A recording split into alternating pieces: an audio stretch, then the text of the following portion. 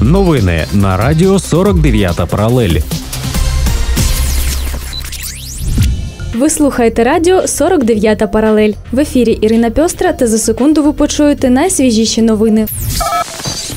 Луганський з трибуну воду виборов два золота на світових змаганнях. Уряд заборонив відключати газ теплопостачальникам під час холодів. У Німеччині розпочала роботу пошта Санта Клауса. Днями у Німеччині відбувся міжнародний дитячий турнір зі стрибків у воду. Про це повідомляє Луганська облдержадміністрація. Честь України на світовій першості захищали 11 спортсменів, серед яких і юні представники Луганщини. Так, золото у віковій групі Б в дисципліні вишка 10 метрів виборов луганчанин Олексій Середа з результатом 493,5 бала. Крім того, Олексій став кращим на трампліні 3 метри із результатом 453,35 бала. У підсумку наша національна збірна завоювала перше загальнокомандне місце. У рамках програми Змінимо країну разом Кремінська загальноосвітня школа номер 1 реалізувала проект освітнього обміну Формуємо спільну систему цінностей в Україні. Про це повідомляє Луганська облдержадміністрація. Партнером у реалізації дзеркального проекту стала Старосамбірська загальноосвітня школа номер 1 Львівської області. В рамках освітнього обміну на Кремінщині гостям провели презентацію опорного закладу, історичний квест Кремінщина перлина Донбасу і матеріал-опис досвіду вчителя початкових класів.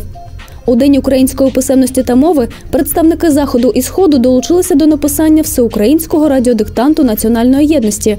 А завершилася програма проєкту засіданням круглого столу і зустрічю з керівництвом райдержадміністрації та районної ради.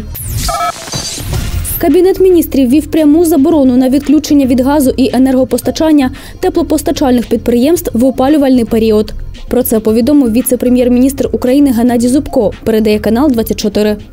Також, за його словами, члени уряду прийняли рішення підтримати теплопостачальне підприємства в умовах підвищення тарифу на газ, врегулювавши питання розрахунків підприємств теплокомуненерго і теплоелектроцентралей з Нафтогаз України за природний газ. У Німеччині розпочала роботу пошта Санта Клауса, повідомляє ТСН. Хоча до свята залишається ще більше місяця, до офісу чарівника вже доставили 12 тисяч листів від дітлахів з усього світу. Найдовший шлях подолав конверт із Південної Африки.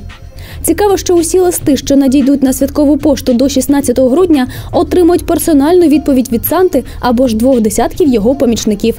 При цьому бажання дітей незмінні. Вони просять у подарунок іграшки, книжки та, звичайно ж, сучасні гаджети на кшталт смартфонів та планшетів.